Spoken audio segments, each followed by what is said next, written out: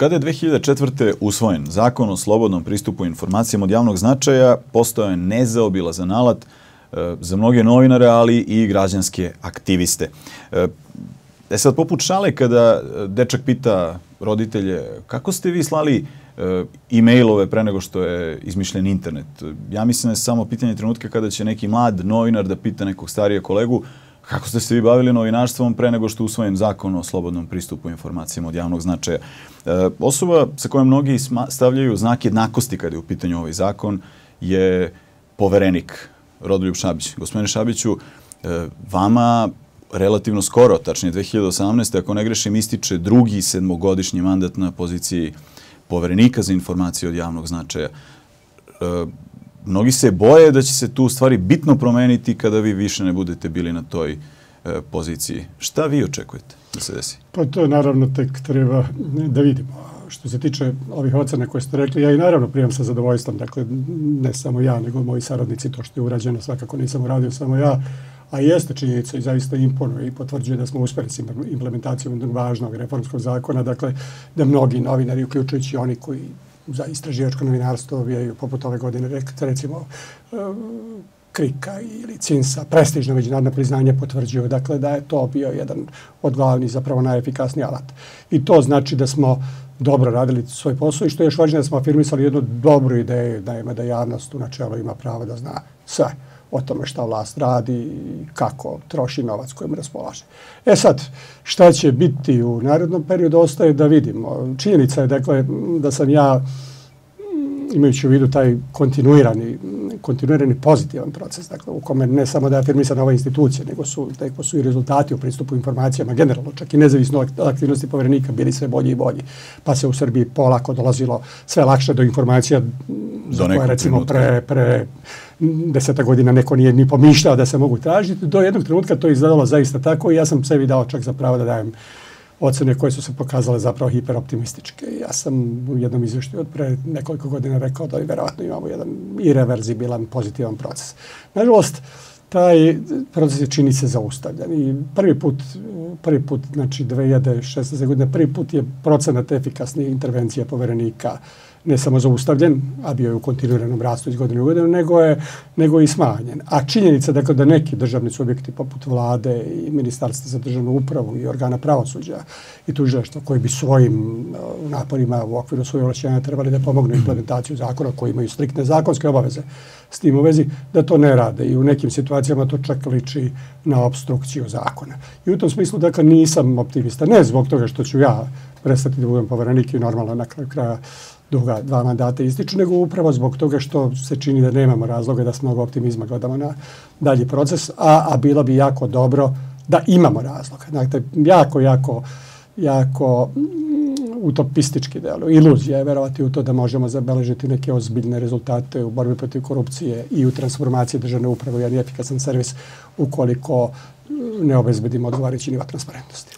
Ja se sećam 2000 E, ako je to onda bila recimo 11. godina, kada je vama istekao prvi mandat, ispravite me ako grešim, postojala čak jedna rupa od nekoliko meseci kada Skupština Srbije nije izabrala novog povrenika, pa je praktič, praktično institucija bila u nekoj vrsti vakuma.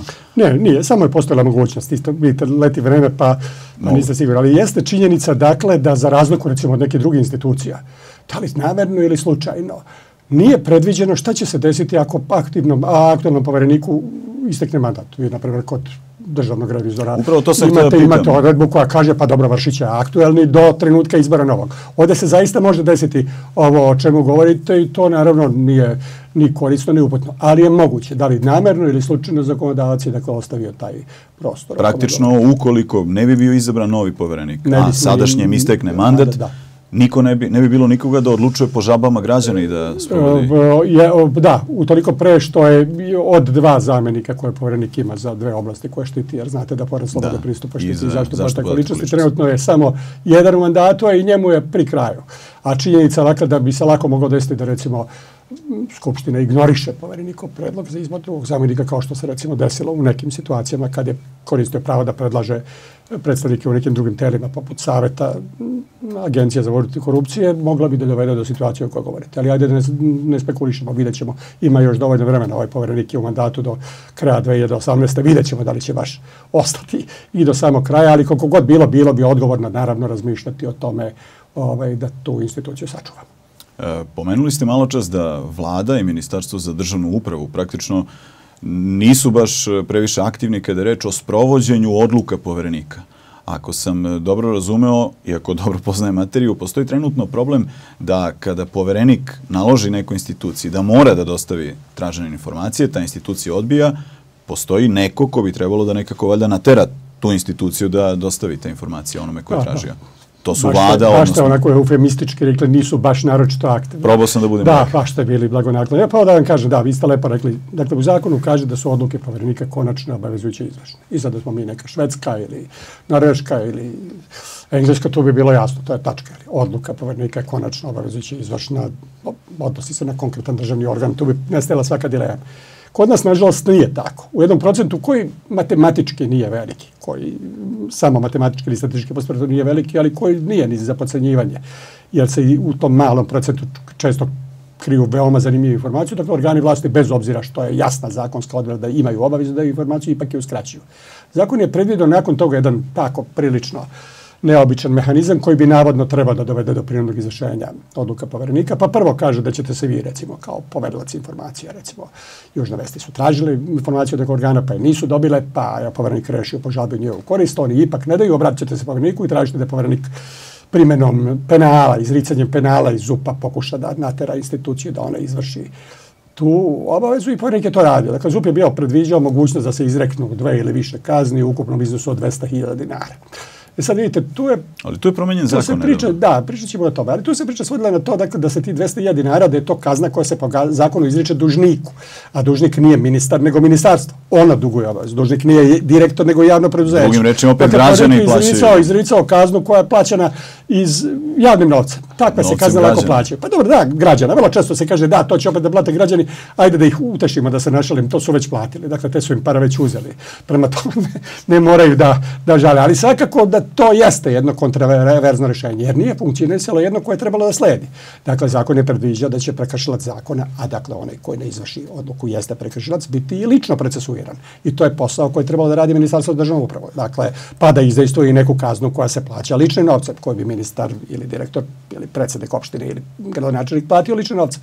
To ministarstvo nije radilo. Ili radi samo sporadično, simbolično, selektivno, dakle na način koji je daleko ispod broja 玩呀 počinjeni pre, ovaj, prekršaj. I konačno još jedan mehanizam koji bi trebao da bude još, naravno, efikasniji, zakon je izrečit. Ukoliko poverenik ne uspe da ovim penalima obezbedi izvršenje, onda vlada ima obavezu da primjenom mera prinude obezbedi izvršenje rešenja. I to bi moralo da bude sve nesporno. Međutim, tu je sve sporno. Ni jedan jedini put. Ove godine je poverenik 31 put tražio od vlade da izvrši e, prinudu da izvrši rešenje. Vlada se oglušila od sve zahteve. I to je naravno, ja ne, neću, ovaj, neću da se koristim eufemizmima kao vi, to je praktično poziv na kršenje zakona. Zašto biste vi suočeni sa situacijom da vam je u interesu da sakrete od javnosti neku informaciju, da znate da nećete biti lično kažnjeni i da vas niko neće prisiliti da izvršite rešenje poverenika, zašto biste ga izvršili? U toj konstelaciji, dakle, u odsustu te obavezne asistencije, taj procenat izvršenja odluka, procenat uspešne intervencija poverenika, koji je bio prošle godine negde oko 92%, dakle u 92% slučajeva nakon obraćanja povereniku prethodno uskraćena informacija se dobila, dobija, dobija na vrednosti. Ja se međutim bojim da će taj procenat koji je prošle godine dakle, pao u odnosu na 2015. kada je bio 96%, nastaviti da pada. A što se tiče ovog problema koji ste spomenuli, da, da, mi smo u Đugrenu promenili ZUP i ti penali koje poverenik izriče i koji su bili u ukupnom iznosu od 200.000 dinara, povećani su. Sada su dramatično povećanje. Dakle, neko je, kako je to već kod nas dosta dobar običaj, verovatno i ne razmišljajući prepisao neke evropske odredbe i da su kazne zastrašujuće. Te kazne su do 10% godišnje prihoda. Sad zamislite da i, i, i nisu limitirane i nisu limitirane brojem sankcija. To bi sasvim sigurno bilo vrlo efikasno rešenje, ali valja je neko shvatio šta je stavio u funkciju javnosti. I ja sam trenutno suočen sa situacijom, to treba da znaju oni koji traže da poverenik izrekne kazne suočen sa situacijom da svi organi koji bi po logici stvari, dakle prinudom trebali da obezbede izvršenje tog mog rešenja o kažnjavanju, kažu da se ne smatraju nadležnim. Neće rešenje povjerenika da izvršava ni sud, ni prekašeni sud, ni Narodna banka, ni Poreska uprava, ni Ministarstvo financija. Jednom reču, krug je zatvoren. zatvoren. Verujem da često razgovarate sa svojim kolegama, poverenicima iz drugih razvijenih zemalja. Kako oni reaguju kada im vi iznesete ovaj problem? Ili oni ošte razumeju? Pa ne, na neke stvari na, reaguju s nevericom, da me razumete. Prvo, reaguju, to, to je jako dobro i ohrabrujuće. Prvo, treba znati, dakle, mi smo ovaj zakon zaista učinili jednim zanimljivim, ozbiljnim, efikasnim sredstvom. Srpski pornik je izuzetno aktivan jedan od najaktivnijih, ako ne i najaktivniji u, u globalnim relacijama. Da, da javno zna, vrlo često kažu i to vrlo često politikanti imputiraju, pa rekao, zašto Šabić pita ova, zašto ne pita ovo? Dakle, Šabić nikad ništa ne pita. Ja ne biram šta, dakle, bira, vi birate šta ću ja da radim. Dakle, ja samo rešavam žalbe. Povernik je drugostepeni organ žalbeni, ako nema žalbi, onda on ne radi ništa. Ja ex officio, dakle, ne donosim nikakva rešenja. Rešavam samo po žalbi. E, u tom kontekstu, dakle, broj žalbi koje srpski povernik primaju za mnoge moje kolege, gotovo neverovatno. Primjer radi, ja sam nedavno bio bio u Moldavi, po jednom drugoj stvari, molili su neku pomoć mojih saradnika, pa sam ja išao i tako da je u vezi sa pripremom njihovog zakona zaštite podataka o ličnosti. Moj kolega, koji je tamo u statusu ombudsmana do duše, ali bavi se ovom materijom, primio je u, u toj u godini u kojoj sam ja primio nešto preko 3000 žalbi, primio je 106 žalbi. Ima dana kada srpski povernik primi toliko žalbi. Tako da su, kažem, ovim, ovom nedisciplinom i ovom pričom, dakle, da, da, da državni organi svesno krše i ne izvršavaju svoje obaveze, po pravilu su iznenađeni, bar ovi stari demokratija. Ali takođe i pozitivno iznenađeni činjenicom dakle, da novinari i građani ovaj, vrlo ekstenzivno koriste ovo sredstvo. E, moram da vas pitam, sada je, mislim, ni samo sada, već duže vreme je aktuelna e, jedna druga tema, a vi pored toga, kao što ste rekli što ste poverenik za informacije od javnog značaja, vi ste poverenik za zaštitu podataka o ličnosti. Srbija ima nekoliko propisa, između ostalog zakon o elektronskoj, o elektronskim komunikacijama, koji ima neke odredbe koje dobar deo javnosti označio kao sporne.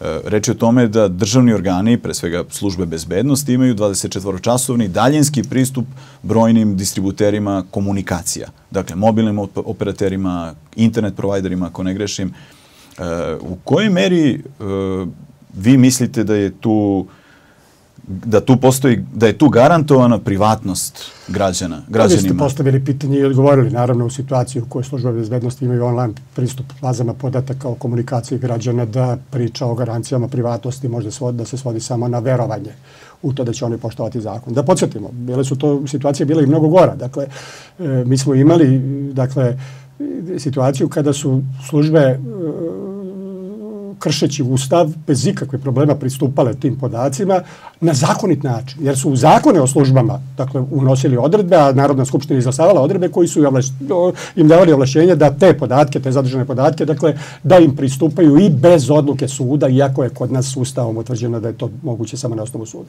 o, odluke suda. Nakon jedne akcije koju sam ja vodio, akcije nadzora, pa potom zajedno s ombudsmanom inicijative ovaj, Ustavnom sudu, to je pitanje apsolvirano. Mi sada, dakle, u normativnom poredku imamo rešenje da službe to ne smeju raditi bez odluke suda. Dakle, ne samo da ne smeju prisluškivati, nego da ne smeju pristupati famoznim zadržanim podacima, ili kako se to popularno kaže, listincima oko komunikacije, osim uz odluku suda. Ali šta Međutim, imamo i fakticitet o koji ste vi spomenuli, koji jednostavno ne može da se kontroliše. Dakle, nema načina da se kontroliše. Ja sam nakon te akcije koju pominjem svoje vremeno zajedno s ombudsmanom predložio paket od 14 tačaka koji je pored ostalog predviđao i formiranje nacionalnog mehanizma koji bi se bavio tim pitanjem, koji bi omogućio dakle, da se uparuju dakle, podaci o faktičkom pristupu a, e, sa, sa, sa sudskim odlukama. To je verbalno podržano politički, ali to nikad nije realizovano. Tako da mi sada jesmo u situaciji u kojoj, dakle, vrlo često čujete i sa, od službi ili iz odbora za bezbednost da je situacija dobra i tako dalje. Da, normativno je besprekorna, faktički, dakle, ostaje samo da verujemo na reč. Ima razloga, dakle, zbog koji ne bi smeli da verujemo na reč. Dakle, čak i da je realni odnos mnogo bolji, nikad nikom z vlasti ne treba verovati na reč. Dakle, ako imate legitimitet da vršite vlast, onda imate i obavezu da polažete račun. Ne treba da očekujete da građani moraju da imaju pouzdanje u to da ćete poštovati ovaj to što su njihova prava. Dakle, imali smo, imali smo naravno neprijatne situacije koje po, po, po, pokazuju dakle, da baš službe nisu uvek, ne samo službe, najčešće odijom službe, ali recimo ja sam nedavno pisao, pisao pisao ministarke pravde, to je isto ostalo bez reakcija. Dakle, tužilaštva.